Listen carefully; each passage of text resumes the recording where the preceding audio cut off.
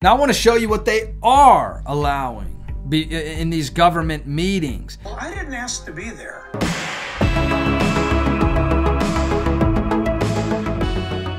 Hey, real quick, you can check out my Christian apparel brand, my favorite Bibles, commentaries, books, all linked in the description below. Howdy, y'all. I'm Brylan. Now, if you watch my channel regularly, you would know that one of my most recent videos is called Famous Pastor Just Did This in Congress. This was a video showing Jack Hibbs praying before Congress and praying a very powerful, truth filled prayer. And you could feel the truth burning into the hearts of all those evil, wicked people in our government. In this video, I want to show you the response from progressive liberals and Democrats within our government. So these are officials in our government that have shown how much they absolutely hate God. And they have gone on the attack and they are now attacking Jack Hibbs. I'm going to show you how they're attacking Jack Hibbs. And not only that, I'm going to show you Jack Hibbs' reaction to being attacked. And then I want to show you what they are allowing to happen before these government meetings. And it should shock you. But like clockwork, here we go. Check this out. The irony is so thick, it'll blow you away. Hey, real quick, hit that thumbs up button. You know when you like this video to get pushed out to more people, and it would really help spread the truth. Free thought Democrats object to Pastor Jack Hibbs as guest chaplain, says he's a Christian nationalist. What a loaded term that is. You know, I've talked about in previous videos about how Christian nationalist is just a code word now. What liberals have done as they've taken this Christian nationalist title and they've applied it to anybody that, well, is a Christian and that wants to follow biblical teaching. Are you getting it yet? If you follow the Word of God, if you are a Christian, then you are going to be considered a Christian nationalist. And with that comes, well, what the liberals and Democrats have termed to be worse than 9 11 which is J6. You're worse than literal terror organizations. Take it with a badge of honor. If you love the Word of God and you desire to follow the Word of God and think society would be better if we obeyed God, I want you to check out what the Democrats are accusing uh, Jack Hibbs of. The fact that he would dare pray before Congress. How dare Mike Johnson allow Jack Hibbs pray a faithful prayer before God? Members of the Congressional Free Thought Caucus, a group which advocates for separation of church and state, and other House Democrats are speaking out against Speaker Mike Johnson's sponsorship of controversial pastor as a guest chaplain and accusing Johnson of importing a radical brand of Christian faith into the house. okay, so I want you to understand something. Of course, they're going to call it radical because Jack Hibbs was very faithful and truthful in his prayer. The world hates that. Jesus said that you're going to be hated because I'm hated. Now, I just want you to remember that all of this is coming from what's called the Congressional Free Thought Caucus. Okay, so you have a Congressional Free Thought Caucus that, well, doesn't actually believe in free thought. Unless you think exactly the way that they think you should think, then that's free thought.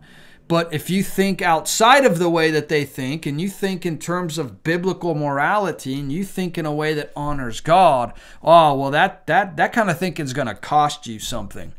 It's, they want it to cost your freedom. They want it to cost your life. They want it to cost you everything because you weren't a part of the free thought, which is free in, unless you're a Christian. But the whole point of this caucus is to promote public policy formed on the basis of reason, science, and moral values. You couldn't get further from the truth. But I want you to check this out too. Such an absolute lie. One of the biggest lies. Check this out.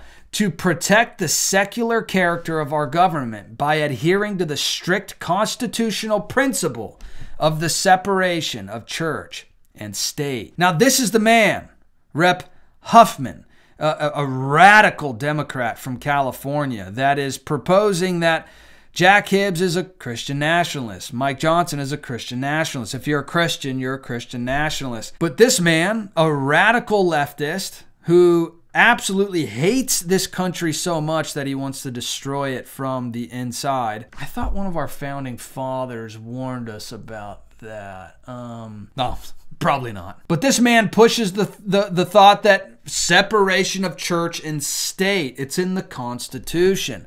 Even though you will not find separation of church and state in the Constitution anywhere, it is not a constitutional idea. And in fact, you didn't see it until Thomas Jefferson actually brought it up in a letter afterward, where the whole point of Thomas Jefferson's letter talking about the separation of church and state was to protect the church from the state, not to protect the state from the church the whole point is that there should not be any governmental overreach within the church. The government should not be able to come into the church and tell them what to do, what to think, how to run, kind of like what you saw during CoFraud in 2020. You saw the government step in and say, You are not allowed to be open anymore. You are not allowed to worship. You must obey us over God. That's the whole point of separation of church and state is that the church is protected from the government. However,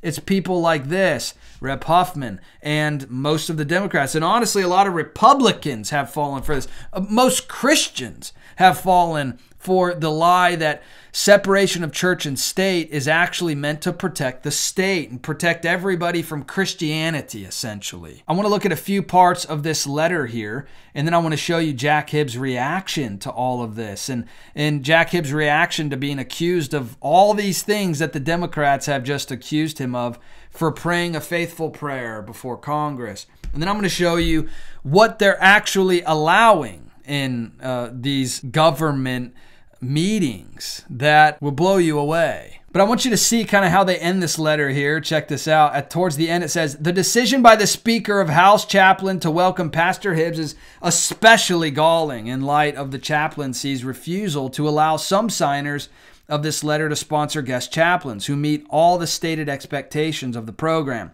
We should all be able to agree that the guest chaplain program should not be used as a political tool nor should it be implemented in a way that favors one religion over others or applies inappropriate religious tests. Basically, what they're saying here is that a true Bible believing Christian should not be allowed to be the guest chaplain, and that it should be somebody else, somebody more inclusive, basically any other religion. Now, make no mistake, this is not the religious versus the non religious and Christianity versus atheists. Everybody follows a God. You either follow the one true God of the universe, the creator of all things, or you follow the God of this world, Satan.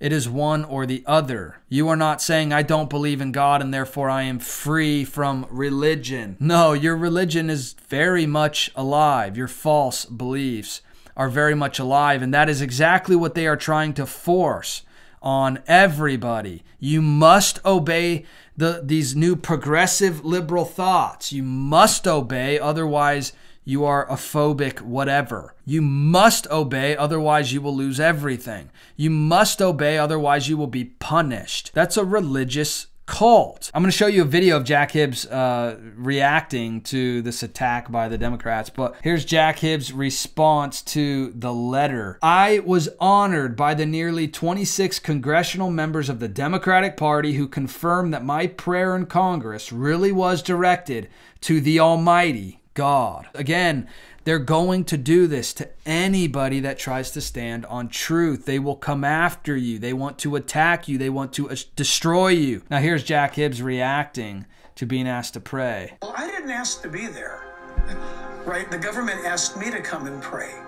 So it just goes, you know, it goes with the days of deception where people will express their worldview without God and they expect you to roll over and play dead. But if you know history, if you know your Bible, and if you certainly know what is referred to as American exceptionalism, is that this nation was founded like no other. Yeah. And so when you know those things, then you stand firm in that because it's true.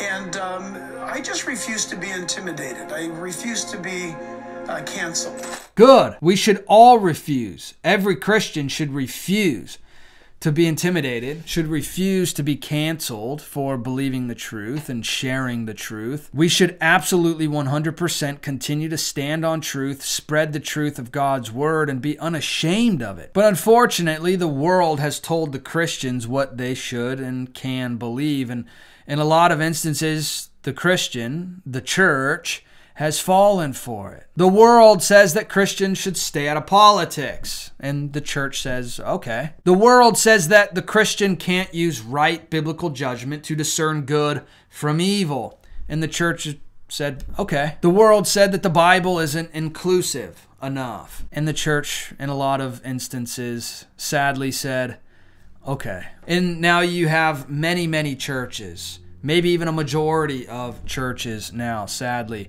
that don't use the Bible. They don't teach the Bible word for word. They don't go through the scripture. Instead, it's a self help sermon. They use man made logic, man made wisdom, which isn't true wisdom, isn't true logic at all. There's only one source of true wisdom, and that is through the Word of God. That is through the leading of the Holy Spirit, teaching us through His Word. Now, I want to show you what they are allowing in these government meetings.